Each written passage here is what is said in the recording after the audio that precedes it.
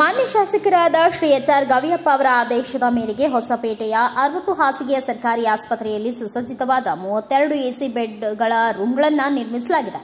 ಈ ಬೆಡ್ಗಳ ರೂಮ್ಗಳು ಖಾಸಗಿ ಆಸ್ಪತ್ರೆಗಳನ್ನು ಮೀರಿಸುವಂತಿದೆ. ಪೋಸ್ಟ್ ಆಪರೇಟಿವ್ ಸ್ಪೆಷಲ್ ಬೆಡ್ನ ಯೂನಿಟಿ ಶುರುವಾಗಿದೆ. ನಮ್ಮ ಶಾಸಕರಾದ ಎಚ್ ಆರ್ ಗವಿಯಪ್ಪ ಅವರ ಸಾರ್ವಜನಿಕರ ಆರೋಗ್ಯದ ಹಿತದೃಷ್ಟಿಯಿಂದ ಕಾಳಜಿ ವಹಿಸಿದ್ದಕ್ಕಾಗಿ ಶಾಸಕರಿಗೆ ಧನ್ಯವಾದಗಳು.